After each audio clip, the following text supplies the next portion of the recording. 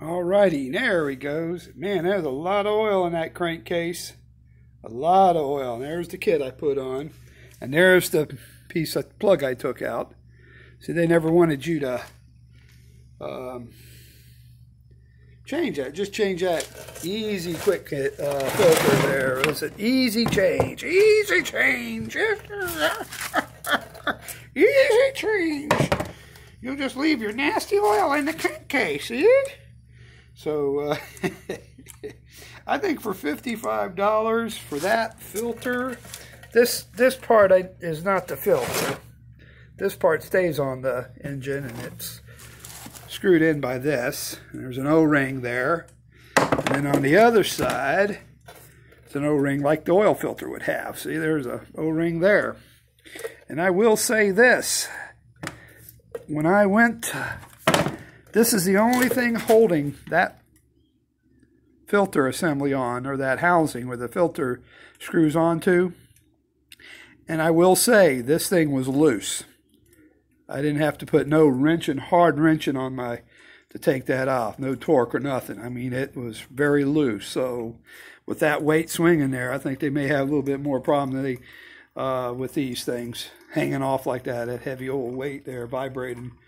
But that's just my take on it. Um, I don't, when it comes to oil filters, I like my stuff a little bit snug, you know. Uh, I don't like it loose. Because man, that's uh, that's your heart heart of the engine, you know, that oil, you know, the oil pump. And but look at there, man. I'll tell you, there's a lot of oil in that pan. And this is the easy cap that screws on right there. And I told you wrong. I said E180. It's a uh, E130. And you could look, and I mean, I guess there's other models. E, I don't know if the E120 has this or not. Uh, the E120 has a plastic gearbox and all that, and I don't like that. This is a better of the mower, and it's a good mower, and the radius, steering radius is awesome in this thing. It's almost like having a zero turn. I mean, I can get real close to the fence line and rocks and stuff in the yard, and it's, it's a good mower. I'll, I'll say that. It's a Briggs & Stratton engine, you know, made for John Deere, and I, they, you know, this is a Murray basically it's a Murray. Uh, Murray makes them all, but they build them for specs for what John Deere wants and what you know other companies want. Um, whether it's Troy-Bilt or whoever, you know, it's the same mower. You know, they'll build them for what Troy-Bilt wants them to build them, their specs. Whether they want to use different, you know, steel for the straight axle or whatever, or an easy, quick oil change. but that's it, man. And then uh, I don't know. I, I guess you guys are not stupid. You figure it out from here. And like I said, the John Deere dealer in my town, Marion County, Florida, they were good. They're good folks, and uh, they knew all about the filter numbers. The guys there in the parts store uh, are really, really knowledgeable. They they'll know what they they know what they help you out with. They're good people. I don't know. I'll throw that and uh, put that in my toolbox and use it for something one day put it, you know. Never know, come in handy. I don't throw things away.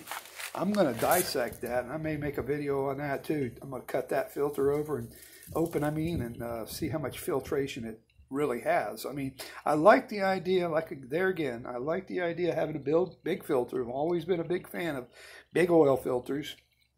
Um, you know, more filtration.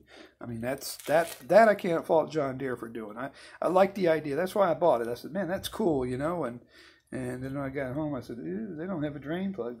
Now I guess I could have just I could have kept easy change and put this on, you know, and then every time I change it, it would have been 55 plus a, God, what is that, a quart of oil or better? That might be two quarts of oil in there.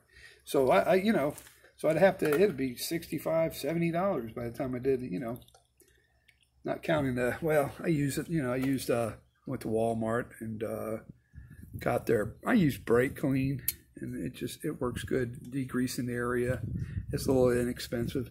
Guess I could use oven cleaner too. It's good, you know. Sometimes oven cleaner's expensive. I could go to a dollar store somewhere like that get it cheaper. But you know, I don't know. It, it worked out, and uh, I will try this. And like I said, I'll with that little filter, I mean, my lord, it was $28, something like that, with all these parts. So the, the oil filter from John Deere was inexpensive, I think. I mean, you, you, you go to the John Deere dealer, you pay the same price as you would aftermarket. And I, I went online, and believe it or not, the John Deere dealer, um, their parts, their prices on the filter was just as comparable as everybody else's. Um, even one of the biggest uh, online uh, uh, stores, um, John Deere was right there. So sometimes it pays to call your dealers and uh, before you go jumping after aftermarket stuff too, because their prices on oil filters may you know may surprise you. I know I buy oil filters at Nissan dealer cheaper than I can get them, or or just as much as you can get them at a you know local aftermarket parts store. So what the heck? I mean, I'm going to use make them happy, you know. Put the put the right stuff. The car's under warranty. Why not? You know. But I don't know. We just shop shop around. You know, I'm not saying anything bad about aftermarket. I've I've always been an aftermarket mechanic. Um, but you know, I shop around and uh, try to save a buck here and there, and uh, and also build rat rides. and and I always use quality parts. So what the heck? And uh, anyway, I'll I'm gonna get back with you guys uh, about this cutting this filter oak. So stay tuned. I'll be right back. Bye.